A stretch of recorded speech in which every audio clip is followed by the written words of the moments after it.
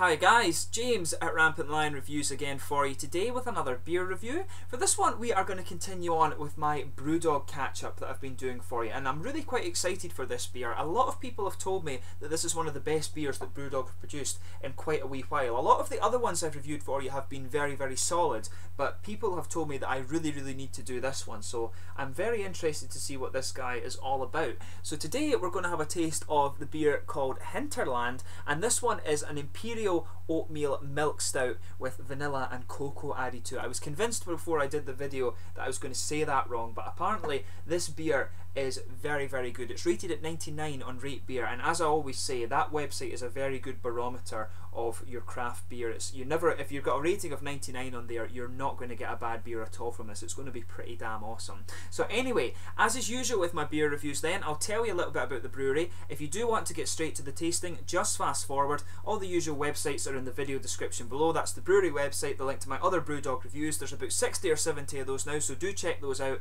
if you're particularly interested in Brewdog beer, and there's all the usual social media things Facebook, Twitter, and Untappd. Please support me on there, it would be much appreciated. And if you want to see more Brewdog reviews as well as many other things, please subscribe to the channel and don't be scared to, to leave me some suggestions, and I will try my best to get a hold of the beer that you guys want to see. So, anyway, to tell you about Brewdog quickly, as I've told you many a time, Brewdog is the love child of James Watt and Martin Dickie, and they were founded back in 2007 at a small brewery in the Kessock Industrial Estate in Fraserburgh in the very northeast corner of Scotland, right on the tip of the monster's nose. But more recently, they've moved their main brewing operations to their new and very shiny purpose-built facility in Ellon, which is closer to the city of Aberdeen, where I used to study. And of course, they are looking to open up a second brewery over in Columbus, Ohio, in the United States. But they're known for being a very experimental brewery, and particularly for their strong beers as well. They held the title of World's Strongest Beer on three separate occasions, but they've bowed out of that race now. But they're largely inspired by the American craft brewing renaissance. They quite often cite Stone Brewing Company as their main influence, and they do say that their trademark styles are pale ales, IPAs, and double IPAs, and they produce some really good beers in that style. But I'd also argue that they excel when it comes to stouts. I mean, Riptide is really nice, that's one of my favourite stouts, and they also, the Paradox series is very good as well. You really need to try that one. But these days, these guys have got several brew pubs throughout the UK. The first of these started in Aberdeen back in 2009. I was there on the first night that it opened, but they've spread all throughout the rest of the UK since then. They've got several international sites now Japan, Brazil, uh, Finland, Sweden, Norway, I think, as well. They've got a new one in Berlin soon, some in Italy, France. They're all over the place, so there's many opportunities for you to try Brewdog beer at their actual bars, so do go and check them out. And one thing that's also interesting about this brewery is that they're the largest independent independently owned brewery in Scotland and they're still expanding and this is largely due to their equity for punk scheme and this is where fans of the brewery like you and I can buy into the brewery. And in exchange for buying the shares you get a lifetime discount in the bars and in the shops. But this is what they use to fund a lot of their infrastructure development such as this new brewery that they opened in uh, in Ellon and also the new one that's coming in America as well. And I think they use it for a lot of their bars too. So it's quite an interesting business model and very recently they've released a book on that too. So you can go and read about that probably very interesting to those of you who are studying business or are involved in the business world. But anyway, that's your little bit about Brewdog. As I say, if you want to read more, go and check out the brewery website. They've got their core range of beers, which is really nice. They've also got the Amplified series, which are my personal favourites. Those are the higher ABV things, but they've got several other one-offs. Kind of, this is one of the small batch brews that they do, and they've got several regular series. IPA is Dead, Paradox, Hello, My Name Is, Abstract. They do a whole host of different things, so do follow them on the social media, and you will get an idea of all the different things going on at Brewdog. But anyway, let's actually get on to the tasting of this beer.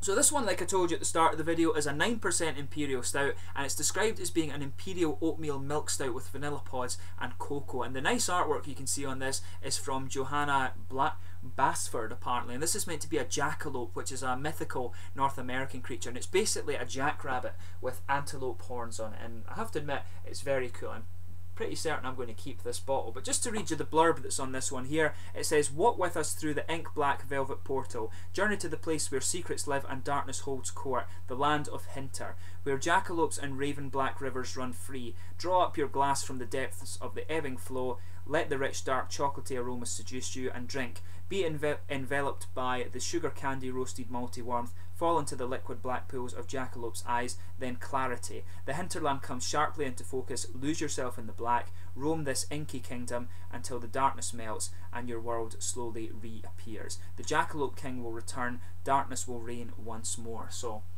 yeah, this one is going to be pretty awesome. As I said, rated at 99 on Rate Beer, and I have to give a thank you to the guys at Fountain Hall Wines and Spirits once again for keeping these beers for me while I'm away living in Sweden. So I'll just let you have a little look at the artwork on this one. You can see it's quite nicely done. I think Johanna Basford might have been the one who did the I forget what the beer was called mixtape 8 I think she might have been the one who designed the artwork for that one as well. You can see it's got one of the normal Brewdog bottle caps on it but this is very nice again. I've still got my bottle for mixtape 8 that's one of the best Brewdog beers I've reviewed for you incidentally. So if you do for some, for some reason find that beer you have to try that one. But this one should be pretty awesome as well. So without further ado let's get this guy open and we'll get on with the tasting here. Really looking forward to this and as I said, one of the styles, Brewdog always trademarked themselves as being mainly an IPA, pale ale, and sort of double IPA brewery.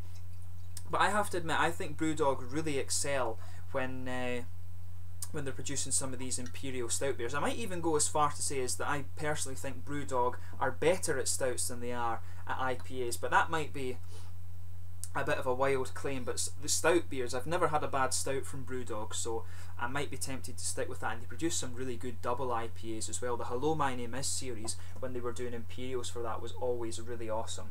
So as you can see, this beer has poured a very nice, dark, rosewoody chestnut colour, say maybe even ebony is a good way to describe this one. There's a half finger of a very kind of beigey tan head there. It's maybe even wood brown actually, but it looks very very nice. Deep brown head. There's some big bubbles sticking towards the side of the glass. Not too many, but quite a few little ones just going up towards the bottom of the head. And as you could see from the pour, this was a very very syrupy beer. So this one should be pretty awesome. No visible sediment in this so it should be pretty good. And it said it went out of date in 2020, so if you get this beer, you can age it for quite a considerable time. So let's give this guy a smell and see how we get on here. Oh yeah. The Brewdog Stouts always have this really quite complex sweetness to them. You have to shoot brew when you don't sugar them up. They always smell very mild, so you really need to shake these beers up a little bit to get all the different things out of it. So you've got a nice sweet chocolatey malt to this one. It's quite roasted as well. You can pick up that kind of roasted base that just underpins this beer. But there's a hell of a lot of nice brown sugar in here. You know, there's some typical sweet caramel, but there's a bit, I'm getting more of the dark treacle or sort of molasses as they would call it over in America. There's definitely some sweet chocolate in there, and the vanilla is really coming out of this one. They've added vanilla pods to this, and you can really smell that in there. The nice vanilla sweetness mixes quite well with the chocolate. It's almost like a cakey aroma that comes out of this actually. And there's definitely a sort of woody, nutty character comes out of this, but the vanilla of course is going to be very prominent because they've actually added vanilla pods to the brew. But the, the nutty and woody infusions in this are very interesting. But the vanilla for me is really sticking out. There is a little bit of a a red fruity ester too. It comes across across as quite a candied or maybe slightly figgy character, I'd say it's more of a candied sort of Haribo, sort of Haribo love heart uh, kind of red candied fruit ester that you're getting off this one. But it smells very very nice, and this is going to come out a bit more as it heats up. I'm serving this one at maybe about eight nine degrees, which I think is what you're supposed to do with an imperial stout. You can serve them a little bit higher than that, but as the temperature increase, increases, of course, you're going to get more of the malty character coming out. But it smells very, very nice. So let's get stuck into this beer then. This is the Hinterland from Brewdog, an imperial stout, imperial oatmeal milk stout with vanilla pods and cocoa added to the brew. So this should be pretty awesome. Slàinte. And I'm actually filming this review on Christmas Day, so a bit late, but Merry Christmas once again.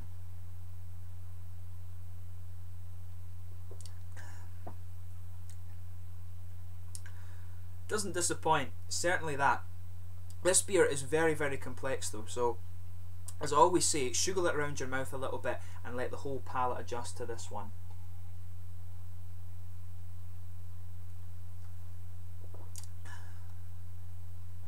Yeah, that is very, very good. it actually takes a little bit a little while to build to be honest so just take a few sips of it before you actually try and dissect the flavour too much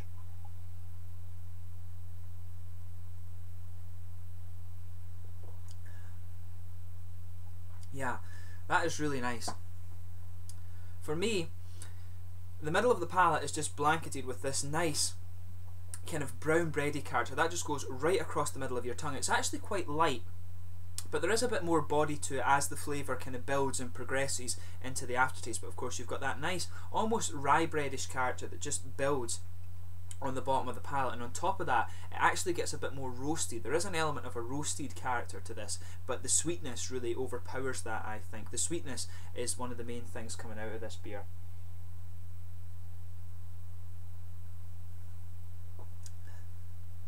There's a lot of nice brown sugars in there. A little bit toasted, but more sweet, I would say.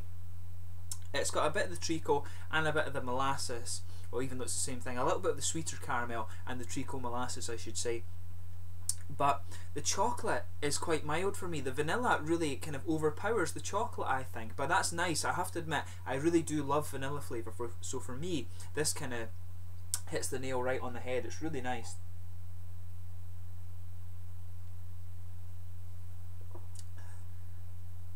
Yeah, there's definitely a kind of woody and nutty infusion to this one. Tell uh, as well, you can actually pick it up more as the beer progresses into the aftertaste. Some of the, the, the, the, vanilla really lingers there, and that's where these nice woody and nutty flavours are coming out as well. It almost tastes as if it's barrel aged, but I don't think it is.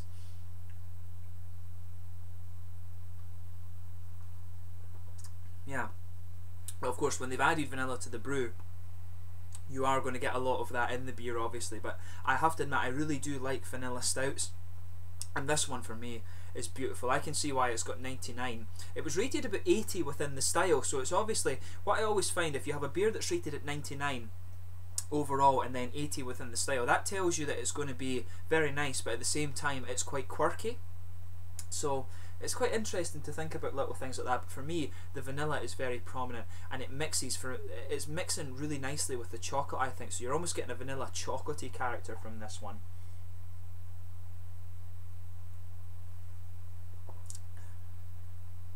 There's a very smooth coffee flavour in there, that dark cocoa. Just at the back of the tongue, you can feel a little bit of the, the roasted and slightly dry character from the, the coffee coming out there and that is really nice. That's the very dark cocoa that they've added to the beer coming out of this one. But yeah, this is a beautiful, beautiful beer. It's got everything you would expect. Nice little bit of almost rye breadish character. On top of that, there's some sweet chocolate.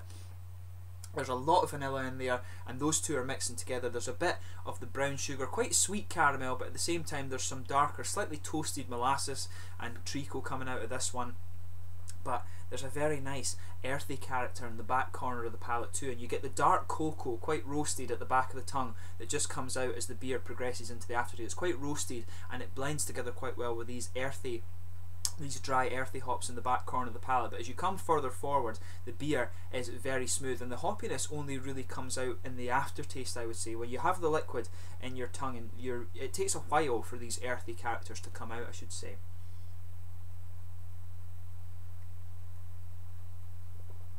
the woody and nutty flavours come out a little bit later as well. As the tongue starts to dry up a little bit, you can really pick those out. There is maybe a little bit of a red fruity ester in there, but again, that's very mild. This beer is all about the vanilla and all about the chocolate for me.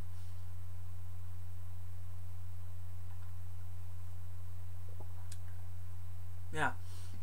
Well, there is a little bit of a maybe slightly figgy character in there. It's not quite plums or raisins, it's not quite sharp enough for that but there is maybe a slightly figgy character just behind the very front curve of the tongue. You get that little oily bubble, and you're getting these sort of candied red fruits and probably figgy flavours in there too. But overall, this is another very good beer, and it gives me even more reason to say that Brewdog really excel when it comes to imperial stouts. I personally think that their, their Imperial Stouts are maybe better than their IPAs. That's not to say that their IPAs are bad by any means, but I have to admit the Imperial Stouts hit me a lot more and kind of strike me a lot more than some of the IPAs do. But it's another very, very good beer from Brewdog, and I can see why people have said this is the best one they've produced in quite some time. I'd be inclined to agree with them.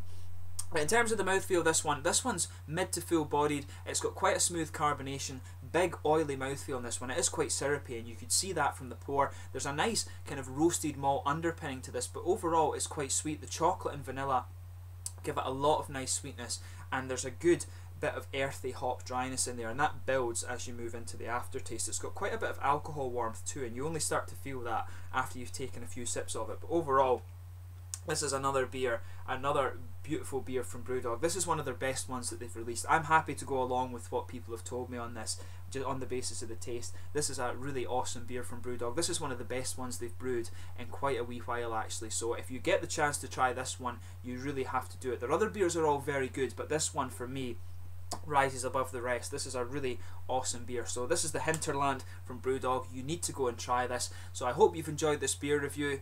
Do let me know what your own thoughts on this beer if you have tried it before. Always interesting to hear from you guys.